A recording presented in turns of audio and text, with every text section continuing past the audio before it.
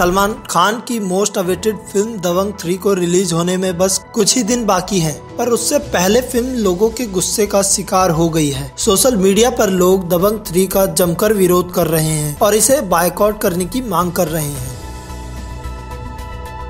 दरअसल दबंग थ्री के title song हुड़ हुड़ Dabangg में सलमान के साथ कुछ साधु संतों को भी डांस करते दिखाया गया है।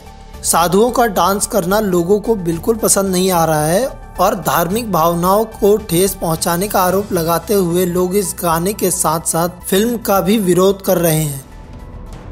दबंग थ्री इस चित्रपट का एक चलचित्र रिलीज़ हुआ है, प्रदर्शित हुआ है। उसमें हिंदुओं के साधुओं को पाश्चिमात्य गीतों पर नाचते हुए दिखाया गया है।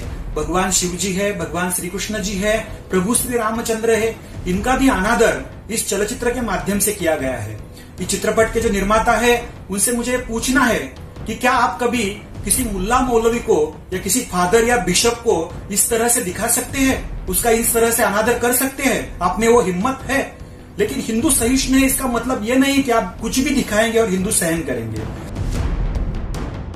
अगर आपने ये टाइटल सॉन्ग देखा है तो आपने गौर किया होगा कि पूरे गाने में सलमान के बैकग्राउंड में साधु संत हाथ में गिटार लेकर डांस कर रहे हैं। गाने के बीच में तीन भगवान शिव जी, राम और कृष्ण जी को भी दिखाया गया है। ट्विटर पर लोग इन्हीं बातों को लेकर अपना गुस्सा ज़ाहिर कर रहे हैं। लोगों का गुस्सा इतना ज़्यादा है कि वो फ़िल्म को बैन करने तक की मांग कर रहे हैं।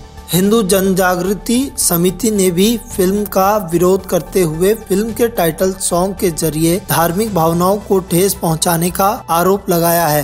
हिंदू जन जागृति समिति ने अपने ट्विटर अकाउंट पर हैशटैग बाइकआउट दबंग थ्री के साथ कई ट्वीट किए हैं, जिसमें उन्होंने फ़िल्म के गाने को लेकर अपना गुस्सा ज़ाहिर किया है।